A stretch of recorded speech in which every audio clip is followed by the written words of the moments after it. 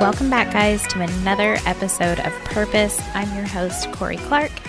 Thanks so much for tuning in, you guys. So, today I had to drop off my youngest, who is 17, by the way. So, he's not, you know, a baby anymore.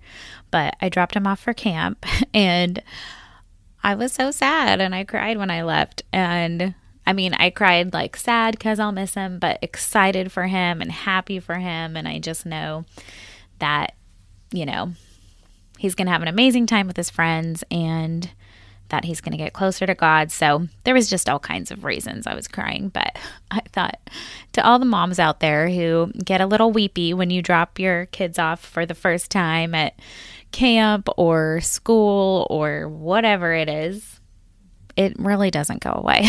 it doesn't get easier.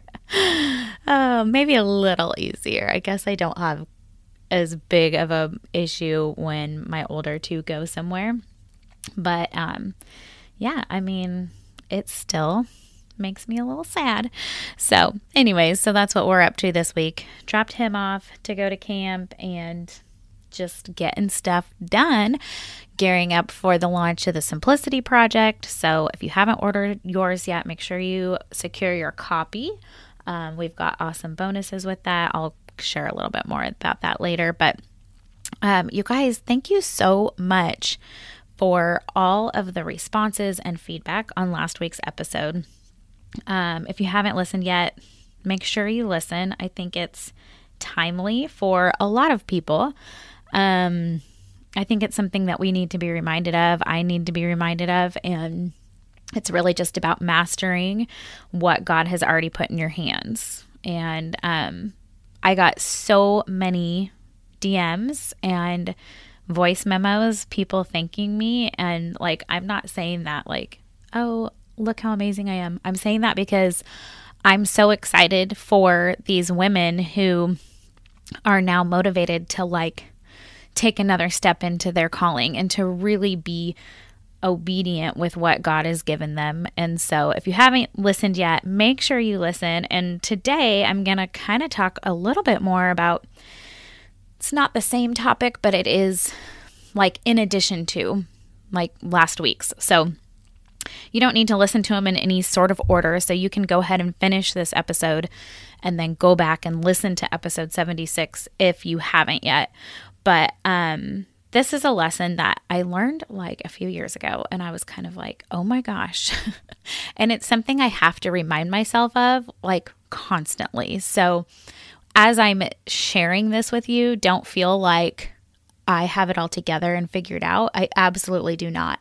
And it's interesting because, like, a lot of what I'm talking about today is how we actually like have more control over our life and our future than we think.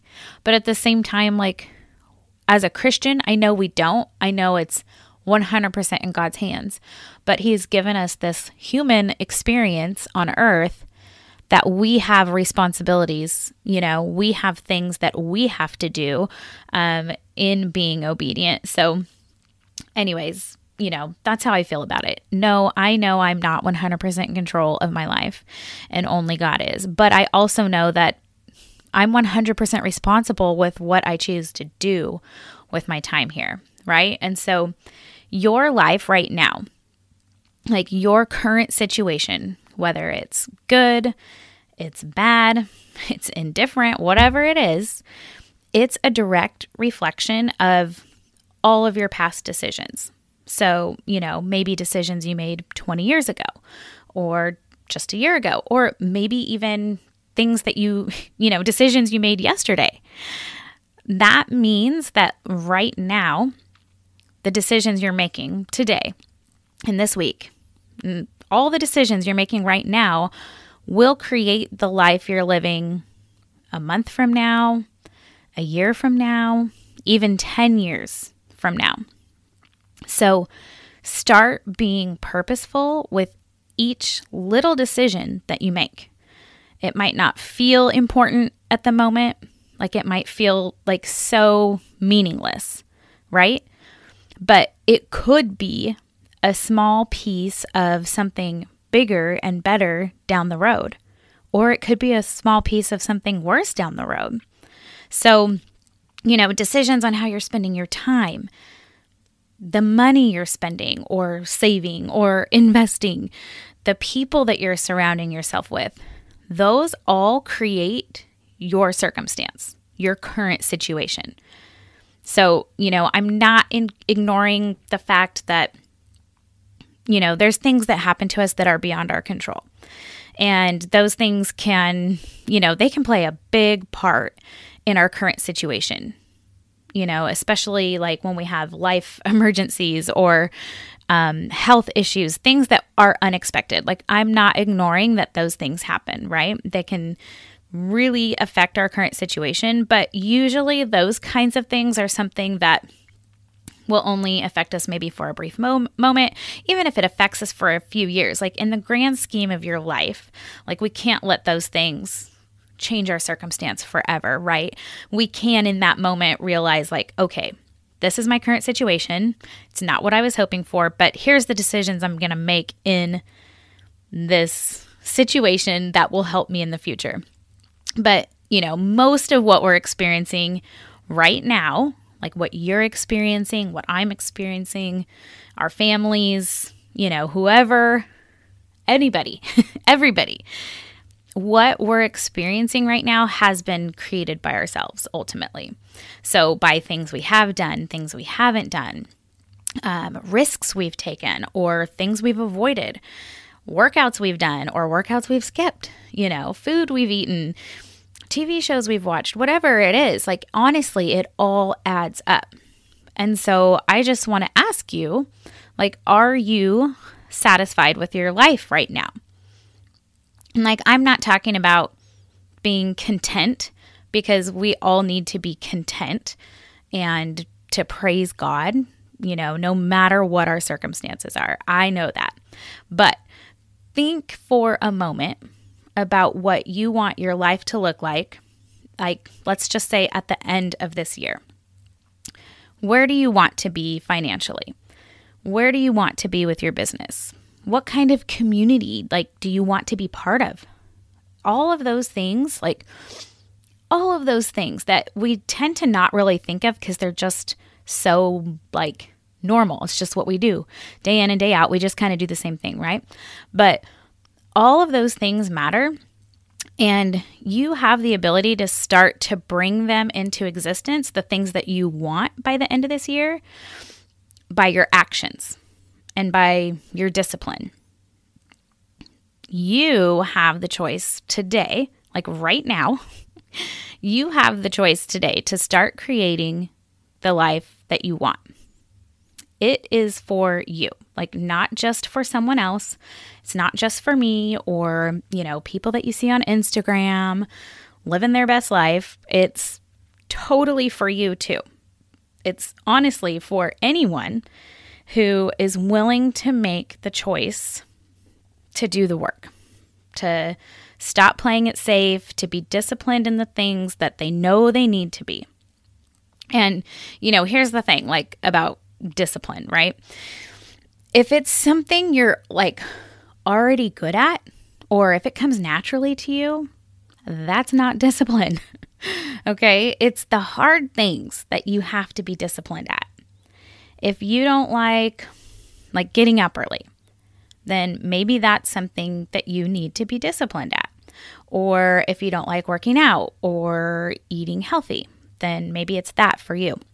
Whatever it is that you usually say to yourself, like, oh, that's too hard, or, you know, that doesn't come naturally to me, like that is what you need to become disciplined in you are not going to get to the place that you want to be at by doing the same thing you've been doing all these years, right? And it's the same for me. Like, I fall into the same patterns. And so, this is seriously like I'm preaching to the choir here. I know we all know this, but this is like a reminder. Like, that it's up to us. And so, you know, when I realize that my current situation is a direct result of my past decisions or mine and Ryan's past decisions, like when I realized that, that's when everything changed for me. And so, if there are things that you want to get better at, then get better at them. Read books, listen to podcasts, buy a course, join a mastermind, like whatever you need to do. Put in the work to educate yourself. Look to the people who have mastered what it is that you want, right? Like, what is it that you want to get better at? Find those experts in that field or in that category and watch what they do. Learn from them. Start making decisions the way that they would. And you're going to start to see, like, you'll start getting results that they do. So, for instance, for me this year, um, two things that I've committed to, like growing in, um, and I'm absolutely loving. I wanted, like at the beginning of the year, this is what I told myself I wanted to increase my knowledge and understanding of the Bible. And so I committed, like I made a commitment. I even have a podcast episode on it. Um, I committed to reading the Bible, the entire Bible, front to back, at the beginning of the year, and I finished it in 30 days. And I also joined like an online theology school school called Theos. I'll link to that in the show notes so you guys can check it out. It's very affordable and there is so much amazing stuff in there. Um anyways, I love it. So, you know, I read my Bible every day, which I always did anyways, but it's just different now because I'm committed to learning more, to asking questions, to studying more, and I'm ex- like committed to expanding my knowledge. So, and then the other thing that I committed to this year is increasing my knowledge like of money. Like I'm in two programs right now to help me with that. And I have so much to learn still, but my financial literacy is growing every day. So, if there's something that you don't understand, only you, like only you, can choose to learn it. It's not going to just like appear in your brain one day. Like you need to pursue it and you need to learn it and you need to practice it. You know, no one else is going to do that for you. So I just, you know, we only get one life. So we have to start living like it and pursuing the purpose that God put us on this earth for.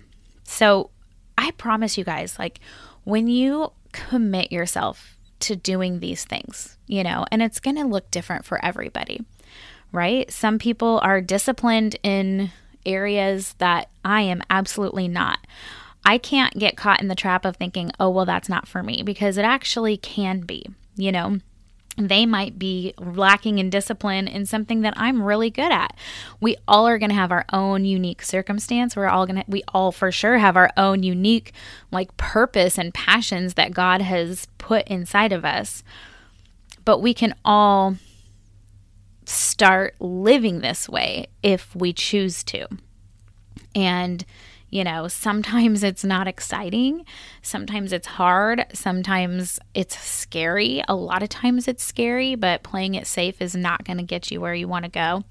There's just so much more on the other side of taking action, right? And stepping into like physically, spiritually, mentally stepping into what God has called you to, like it's going to be scary, but it's going to be so much more exciting than if you just sit back and, you know, live the American dream. I promise, because that this is what I've been doing and continue to do for the last like 8 years, I guess, 9 years. And you know, obviously, if it's still something I have to remind myself of, it's not something you're ever going to be perfect perfect at. But pursuing it every day and reaching for something more and reaching for what God has called you to is so much more exciting. I promise. And that is kind of the end of my little rant for the day. so that will wrap up this week's episode. I honestly, I hope you're inspired to start living on purpose and start choosing how your life is going to look this week, like even today, like right now. How do you want the rest of your day to look, right? How do you want the rest of your week to look this month, this year, and every year after that? I hope you're inspired to actually start pursuing your purpose and do the things that you're called to do. And remember, if you're feeling overwhelmed or like you do not have time or the capacity or the energy to start living the life that you know that you've been called to, then make sure you grab your copy of the Simplicity Project. It starts shipping the week of August 8th but I do have like some fun bonuses that I'm giving if you pre order now. And all you have to pay is shipping and handling. So go to simplicityprojectbook.com to get your copy. And you'll actually get the ebook and the audio version right away so that you can get started like today. That's one of the bonuses when you pre order. So, um, you know, start to create some margin in your life and watch what God will do. There are miracles in the margin, I promise. My life was stretched so thin before I did the Simplicity Project. Like, it's based on something I did in my life and in my family's life to create that margin. And it was like, as soon as I did, I was responsible with this life that God had given me. I was responsible with my health, my home, my finances, and my time, creating that margin. And then that gave God the room he needed to start working miracles in my life and opening doors and you know gave me the time to write the book gave me you know the time and energy and capacity and everything I needed to create the planner and so on and so forth. It was just like this ripple effect. And it all goes back to being responsible and disciplined with what God has already given you, right? Like that does not just apply to our finances, that applies to our time, that applies to our bodies, that applies to our families, our spouses, our children. It really applies to everything. If if there is something in your life right now, it's only because of God. And so how are you going to be faithful with it? So, anyways, I hope that you are inspired to live on purpose, to simplify your life, and really pursue that peace um, that we all could use a little more of in this chaotic world. So, anyways, you can get all of the stuff I talked about. I've got links in the show notes to the book, to the theology uh, online school I'm going through. And yes, that is all for this week. Thank you so much for tuning in. And if you haven't yet, be sure to subscribe, rate, and leave a review so that others can find the show. And if this show in particular gave you any aha moments, be sure to share it with your friends on social media and be sure to tag me as well. All right, you guys, have an amazing week. I will see you next week on purpose.